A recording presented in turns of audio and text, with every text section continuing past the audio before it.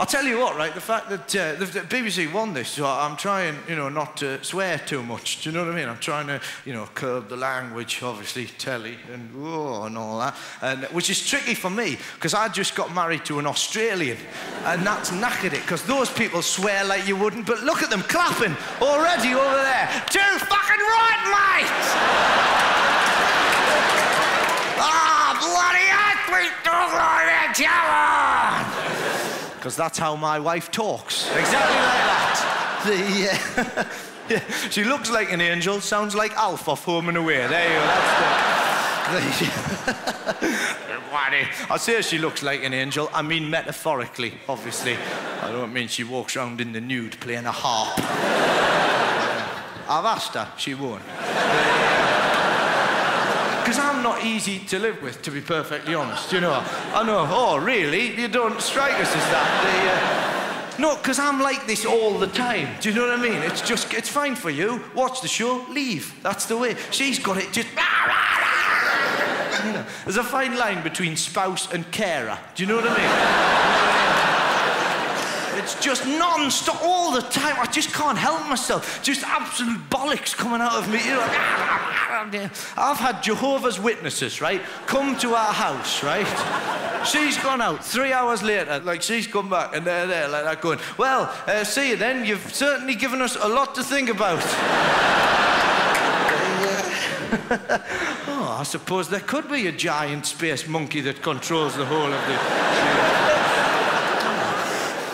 That's. Uh, you know, but because what I've tried to do in the past, right, and this is where I always fell down, as in relationships, I'd always try and pass myself off like as the strong, silent type. Do you know what I mean? yeah, no, I did, and it worked for about four minutes. Do you know what I mean? Just kind of standing there like that, just trying to be all sort of moody and interesting, and that's how I do moody and interesting there.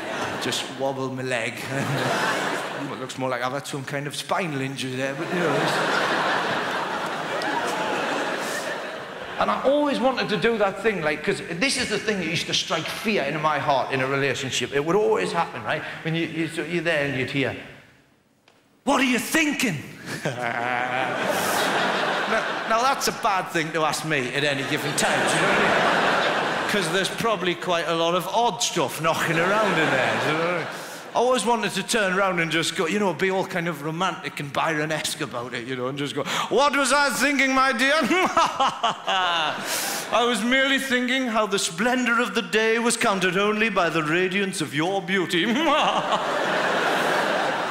But I would always panic at that moment, and I'd sort of freak out a bit and not get it right in my head, and I'd be like, and I'd be standing there like trying to, and they say, "What are you thinking?" And I'd go, ah, "Do you think ghosts change their clothes?" what? That's all you're thinking, was it? Well, you know, they're in haunted houses. It must get dusty. I mean, do they just change the clothes or do they change themselves? Do... That's all you're... You're staring out of a window and that was not all I was thinking, was it? I was thinking, um, and I'm desperately going, ah. I was thinking, how comes Mr. Universe has only ever been won by contestants from Earth? hey? Does that not strike you as just a little bit weird? Never once in the history of that competition have they ever gone, and the winner is Thwingor from the planet Thwar.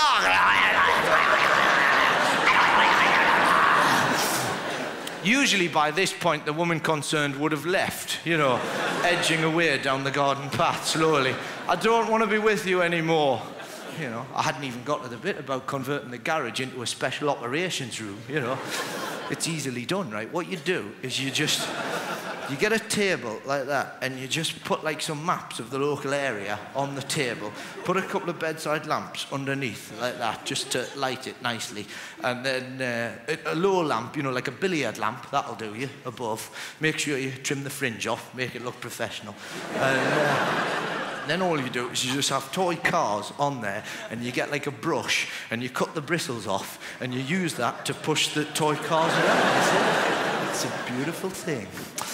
That's great, that. Women laughing and just blokes just going. That's genius, that is. I say we make him our leader. So we got married, right? And uh, it's weird because marrying an Australian, right? I've ended up with like an Australian family, which is just, it's odd, you know, because they're all like really healthy and fit and playing football and having barbecues. And I don't really fit into the whole equation, do you know what I mean?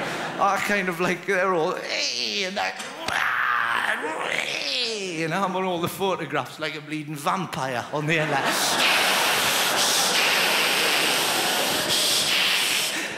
He's like me. Do you want a steak, mate? Would you like a steak? Don't say that word.